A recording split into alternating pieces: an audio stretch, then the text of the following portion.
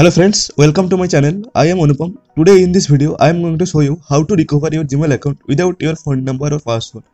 So let's start the video. Today before starting the video, I will say one thing. If you are new into my channel, then subscribe my channel and like this video and watch till the end. So first of all, you have to open the Gmail app to recover.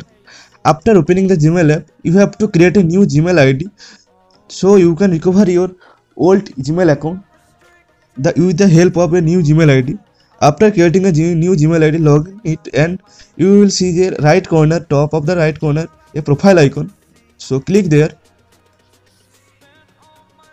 After clicking the profile icon, you can see here is a add another account option. So click there. And first option Google. So click there. And wait for some time. So you will see here the option to give the email or phone number. If you forgotten the email address then you can click the forget email option. After clicking the forget email option you can find your email address. So first you have to find your email address then you have to enter the address your phone or email option. I am entering my email address. Here i would like to recover it. I will enter. After entering the email address you will click on the next option. Here you will see the pass enter password option. So you don't enter any wrong password here. You have to click forget password option. After clicking on forget password if you are asked for phone number here but if you have a phone number then you can put on the phone number here.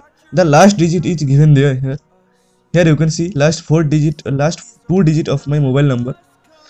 So if you have a phone number then then enter the, here. If you don't have any phone number then click try another way option. Click here the last option is try another way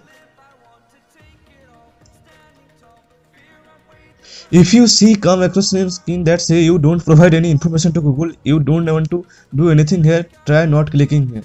Then you go to the back from the here and then open a new gmail id that you have created.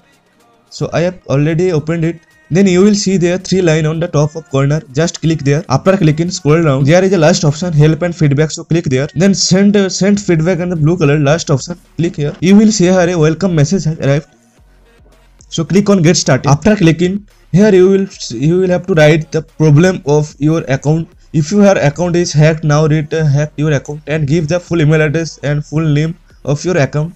Then you have to send it. So i will write after writing the problem you have to click on the blue color. You will see the option send button. So click on there. Then you just click on continue. Then here you will click on no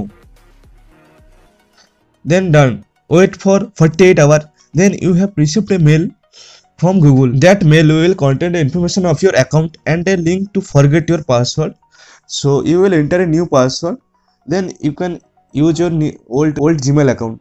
So thank you for your so today's video i hope you like this video. So before you leave you must have like video and subscribe my channel. Thank you I for don't watching. ever wanna be alone. I don't really ever feel at home. On my own, in the zone. That's the only way I know. Feeling low, about to blow back up. Here I won't ever let the doubt creep in. Gotta pop a couple more aspirin. I don't think I'll ever let you in Easier to break it off best friends. I don't really understand